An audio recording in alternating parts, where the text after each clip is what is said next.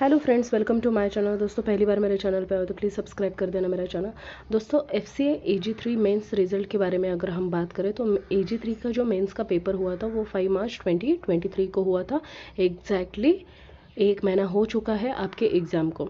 अगर हम ए जी टू के बारे में अगर हम बात करें F C I A ji to के बारे में तो ये जो मेंस का पेपर था वो ट्वेंटी नाइन जनवरी को हुआ था और रिज़ल्ट जो है ट्वेंटी फ़र्स्ट ऑफ़ मार्च को आया था। एग्जैक्टली फिफ्टी फाइव डेज़ के अंदर आपका रिज़ल्ट जो है वो देखने के लिए मिला था। तो अगर हम वही प्रोसीजर देखें तो ए जी थ्री का रिज़ल्ट जो है वो शायद आपका आ सकता है एक twenty two twenty five April के आसपास।